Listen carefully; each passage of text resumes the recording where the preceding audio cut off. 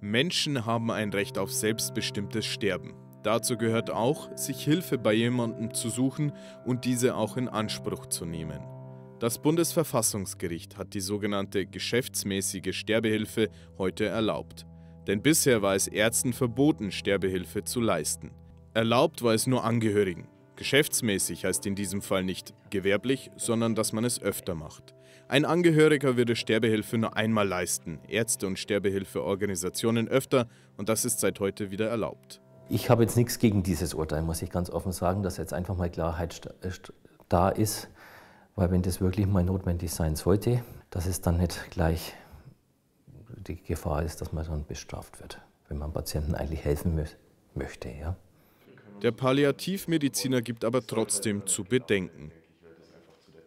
Dass das einfach dazu führen kann, dass alte, alte Menschen dann einfach von Angehörigen oder sich selber äh, veranlasst fühlen, dass sie einem anderen nicht zur Last fallen mögen. Ja? Und dann vielleicht die Sterbehilfe in Anspruch nehmen möchten. Ja.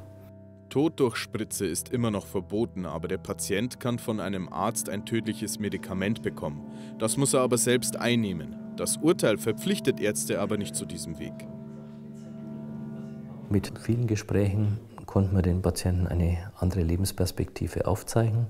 Somit werde ich auch weiterhin versuchen, das im Gespräch mit dem Patienten zu regeln. Die Alternative für mich als Palliativmediziner, wenn er nicht mehr gehen kann, ist die sogenannte palliative Sedierung. Das ist eine Maßnahme, dass man dem Patienten durch Medikamente mehr oder weniger das Leid wegnimmt.